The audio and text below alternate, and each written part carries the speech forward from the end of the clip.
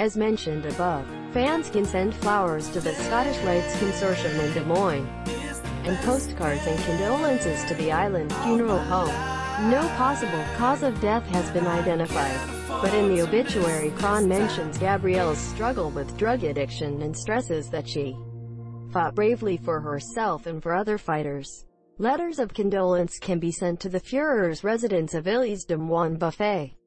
Gabrielle Crahan's death was revealed this weekend on Slipknot's social media platforms Flowers can be sent to the consistory of Scottish Rites in Des Moines.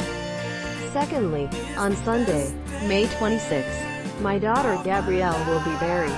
Crahan is also remembered for her feminist and anti-bullying initiatives and for your activities in Pitbull. The obituary adds that she has found a higher power that has guided her through difficult times in kindness in recent years. 2019 Loudwire is part of the Loudwire network. Townsquare Media, Inc. The musician also thanked on behalf of his family in this tragic time.